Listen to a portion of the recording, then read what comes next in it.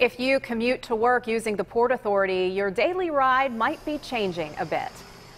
Good evening and thank you so much for watching KDKA News at 6:30. The Port Authority says it is redistributing resources this fall to better serve passengers during the pandemic. And that includes adding more trips. Royce Jones explains what riders can expect. Port Authority plans to modify 55 schedules overall. Some of the changes will help passengers currently missing buses because of the coronavirus capacity limits and slim service. It's been hectic. Port Authority riders are sick of missing the bus.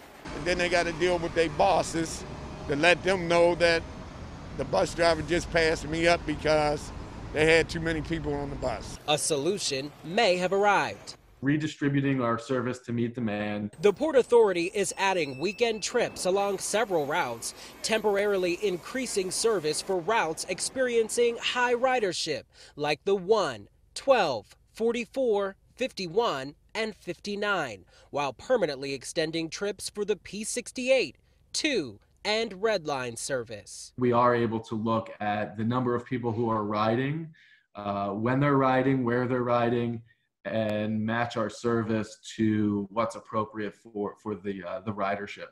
The resources will be trimmed off routes less traveled as ridership has plummeted 70% below average. It's difficult for us to sort of justify having a bus that is, is only running with two or three people on it where that same bus could be uh, sent elsewhere and have uh, 15 to 20 people on it. This passenger waiting anxiously for his bus and better days.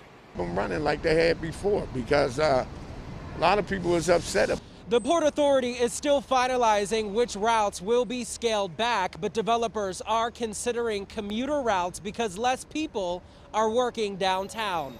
The official changes will be announced before they go into effect on November 22nd. I'm Royce Jones, KDKA News.